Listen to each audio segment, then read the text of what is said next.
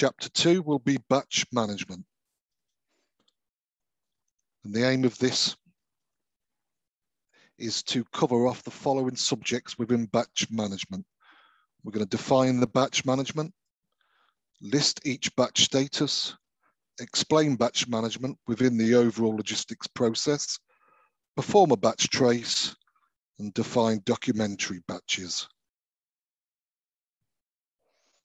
Before we go forwards with this, there are some key terms we'll just refresh ourselves with. ASN, which is our Advanced Shipping Notification, provides detailed information about a pending delivery from a supplier. Batch represents homogeneous units with unique specifications. Batch determination, used to find batches that meet defined specifications for all types of good movements from the warehouse. Batch management. Batch management is defined as the tagging of a manufactured or procured material within a unique identification code. And batch master record a data record that stores the information required to manage a batch. We'll be covering all these off. Documentary batch, batches that could be used to ensure that partial stocks of a material are traceable without using traditional batches. In the case of manufacturing sites, this would be material stored in silos. Inbound delivery will be touching on as well. This is a document containing all the data, material, quantity, and batch required for triggering and monitoring the complete inbound delivery process. There are some key changes to batch management. We've touched on documentary batches, which are the storage of siloed materials. We've got batch determination, which enables batches with specific characteristics to be identified for use in goods movements. We've got batch management, will be active throughout the logistics process for more efficient tracking and tracing. That batch management will be used for finished goods, semi-finished goods, primary packaging, ingredients, and any packaging materials with regulatory information.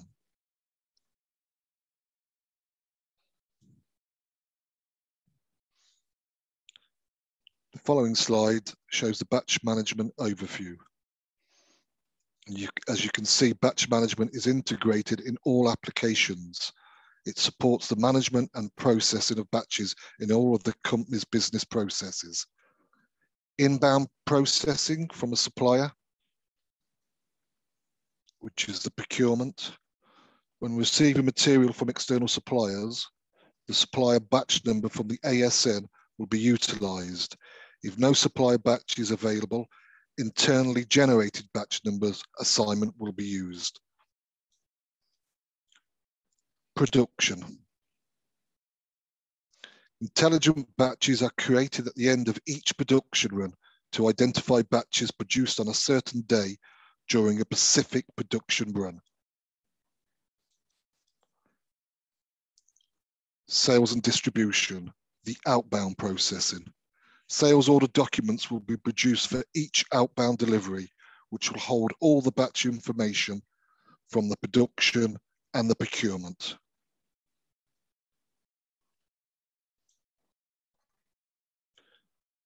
What are the materials that are going to be batch managed? So all finished goods with the code within SAP of ZFIN and semi-finished goods, ZSFG, are to be batch managed. Raw material and packaging material are to be batch managed depending on usage. All ingredients stored in the bulk silo tank follow a standard batch management rules until offloaded into a bulk storage container primary packaging, print or ink that is in direct contact with the food, and secondary packaging that contains any ingredients list, regulatory information statements, or legal claims. There are two types of batch status, unrestricted and restricted. Within the SAP system, we will still see the batch, and if it's unrestricted, it can be used. If it's restricted, although the batch is visible, it cannot be used.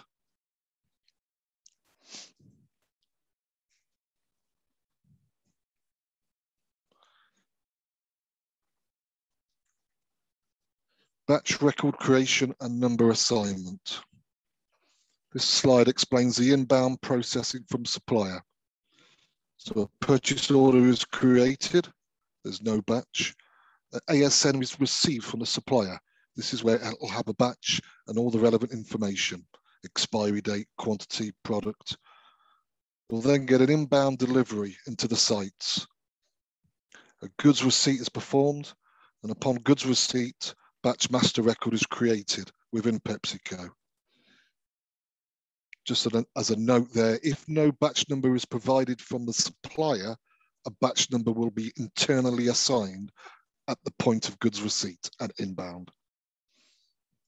Within the production execution, a process order is created, the material is produced, and the raw materials that created that material are consumed. It is at this point that the intelligent batch number is assigned for the produced goods. We'll come to that in the future slides. And there is a manual processing. Requirement for a new batch master record, which will create a batch master record within the background for new products.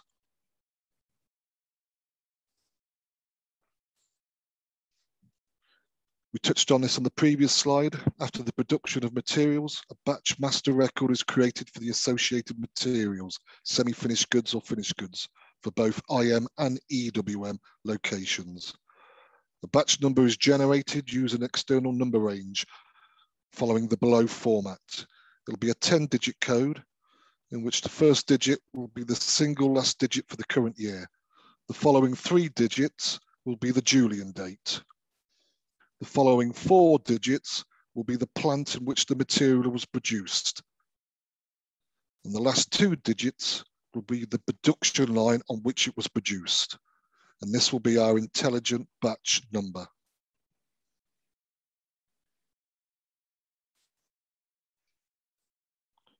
The following slides are linked to the batch master record. If you can see on this slide, it's the basic data, which will contain the batch master record, the batch number, status indicator, date, and date of manufacture.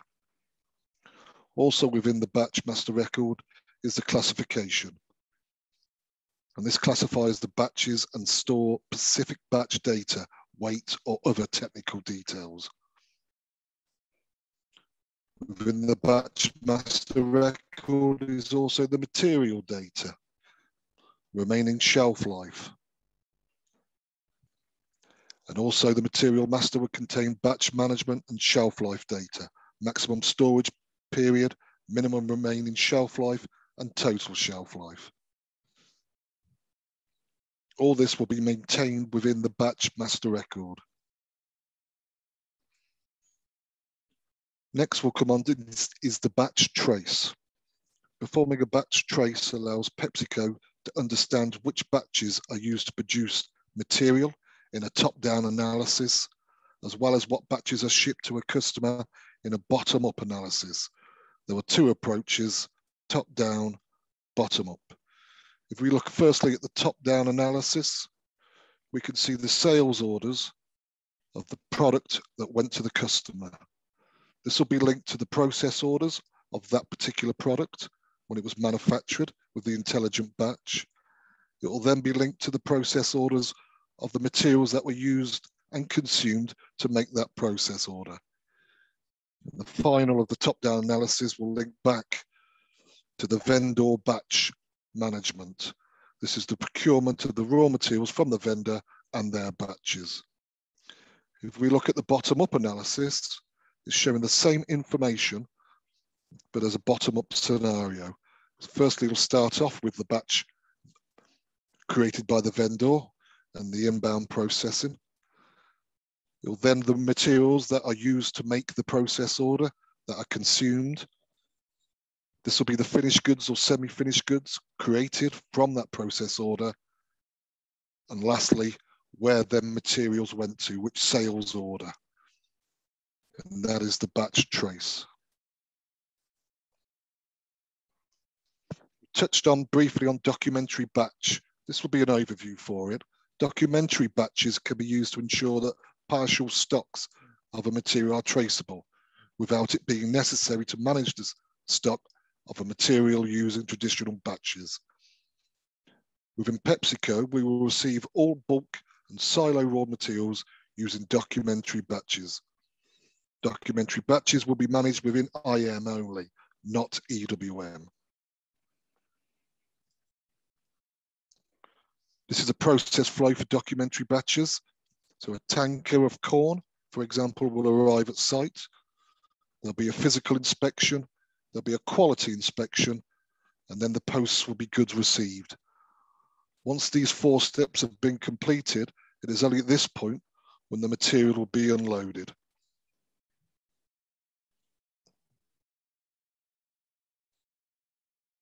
We're just going to go through some knowledge check questions. What is batch management? True or false, all materials will be batch managed. What are the different batch statuses? What is an intelligent batch? And what is a documentary batch? So we look at question one. What is batch management? As we touched on, a batch, a partial quantity of a material that is managed separately from other partial quantities of the same material in stock. True or false, all materials will be batch managed. We know this to be false. Materials not in contact with product will not necessarily be batch managed. We looked at the two different types of batch statuses. There's restricted and unrestricted. We looked at intelligent batch, the 10 digit code made on the production of finished goods or semi-finished goods. And this intelligent batch refers to the PepsiCo format, year, Julian date, plant number, line number. And lastly, we looked, touched on documentary batches. These are silos, batches that could be used to ensure that partial stocks of a material are traceable without the use of traditional batches. Now we've covered these steps off, it's given you a good insight into batch management. We're now going to look at how the system, the SAP system, will trace that batch management.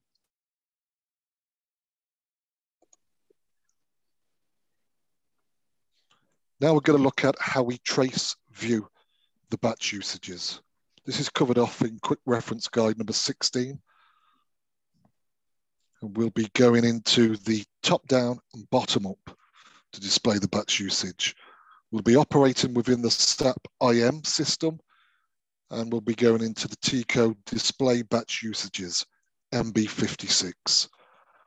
So if you firstly click on MB56 and locate tile display batch usages, and the following screen will appear. We'll enter the material number, we'll enter the plant, and we'll enter the batch number. We'll click on the top-down analysis. And in the bottom right-hand corner, click on Start Analysis.